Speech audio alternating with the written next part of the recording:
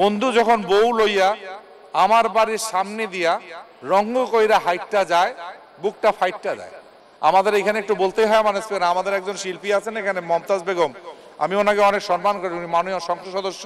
ওনার নির্বাচনী এলাকাতে আমি গিয়েছি, এত মসজিদ, এত মাদ্রাসা, উনি করেছেন, কল্পনা করা যায় না। ওখানে ডায়াবেটিক সেন্টার উনি করেছেন, ওখানে কি বলে আপনার? হ্যাঁ?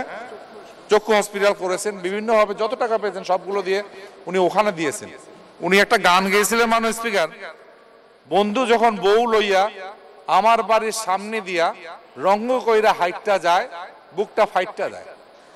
এই গানটা কিন্তু উনি করেছিলেন। আমি জানি না, স্বীকার কর- উনি উনি তৈরি করেছেন, উনি করেছেন। আমি, উনি গাক আমি তা বলব না। কিন্তু এই গানটা নিয়ে একবার আওয়ামী লীগ সরকারকে উনিশশো পঁচানব্বই সালে কটাক্ষ করা হয়েছিল, জনৈক সংসদ সদস্য, আমি নাম চাই, জানতে চাইলে আমি বলে দেবো আপনাকে, এই শব্দগুলো উচ্চারণ করে আওয়ামী লীগকে সেই সময় কটাক্ষ করা হয়েছিল। দুই হাজার এক সালে আমি তখন এই পার্লামেন্টে আমি ছিলাম। আমি নিজের কানে শুনেছি। এই কথাগুলো একজন বিএনপির সংসদ সদস্য বলেছিলেন।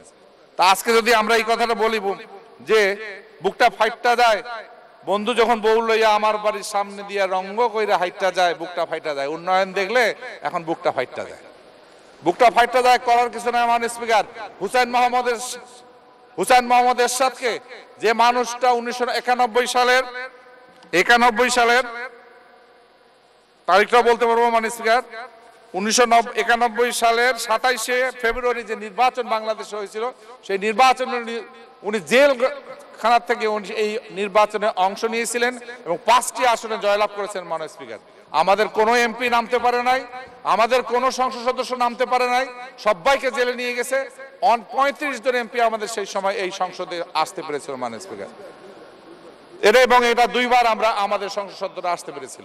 এই হুসেন মোহাম্মদ এরশাদের যখন অসুস্থ হয়ে গেলেন উনি উনি যখন অসুস্থ হয়ে গেলেন, ওনাকে চিকিৎসার জন্য বেগম রওশন এরশাদ, তিনি মাননীয় প্রধানমন্ত্রী, আজকের যে প্রধানমন্ত্রী প্রধানমন্ত্রী মহোদয়ের কাছে গিয়েছিলেন, উনি তখন বিরোধী দলের নেত্রী, ওনার কাছে গিয়ে বলছিলেন যে, মারা যাবে বিলরবিন সতেরোতে উঠেছিল, যারা ডক্টর আছে এখানে তারা বলতে পারবে, সতেরোতে বিলরবিন উঠলে কোনো মানুষ জীবিত থাকার কথা নয়। হুসেন মোহাম্মদ এরশাদের উপর আল্লাহর রহমত ছিল, উনি বেঁচে গেছেন। ওনাকে তখন বলা হয়েছিল, পিজি হসপিটালে নেওয়া হোক, পিজি হসপিটাল, আজকে বঙ্গবন্ধু হসপিটাল। সেই হসপিটালে তাকে নেওয়া হয় নাই, সতেরোখানা চিঠি দেওয়া হয়েছিল মানুষকে। নেওয়া হয় নাই। আর আজকে আজকে উনি একটা মামলার সাজাপ্রাপ্ত হয়েও, উনি তারপরেও উনি জেলে না থেকে উনি বাড়িতে রয়েছেন মনে আমরা যদি আজকে প্রধানমন্ত্রীকে কোশ্চেন করি যে, কোন, কিসের কারণে আপনি করলেন? আপনি কেন এটা করলেন? আমরা যদি বলি যে, যারা বিলোরবিনের জন্য আমাকে হসপিটালে নিতে চায় না, তাদের আজকে কি এমন অসুখ? তার জন্য সার্ভেন্ট দিতে হয়? কেন? মনে থাকে না এই কথা? আজকে রওশনের সাথে ফার্স্ট লেডি বলতো এক সময়, যাই করেন আন্দোলন, যাই করেন, করে অসুবিধা নেই। ফার্স্ট লেডি বলেছিলেন, তিনি আঠারো দিন এই মেজের মধ্যে শুয়েছিলেন। আঠারো দিন তাকে একটা কম্বলের উপরে শুয়ে থাকতে হয়েছিল। হোসেন মোহাম্মদ এরশাদকেও তাই করা হয়েছিল। এবং কষ্টকর আরও মাননীয় স্পিকার সেটি হচ্ছে, উনি যখন অসুস্থ হয়ে পড়লেন, তখন তো দিলেনই না। তিন মাস পর পর ওনার পরিবারকে দেখা করতে দিতেন। কোনো খাওয়ার নিতে দিতেন না। রমজান মাসে তারা খেজুর চাইছিলেন, উনি খেজুর নিয়ে গেছিলেন।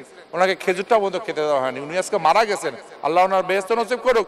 কিন্তু কষ্ট যেমন যদি সুখ করে থাকে হুসেন মোহাম্মদ এরশাদ তার তিন ডবল কষ্ট করেছেন এই বাংলাদেশের মানুষের জন্য।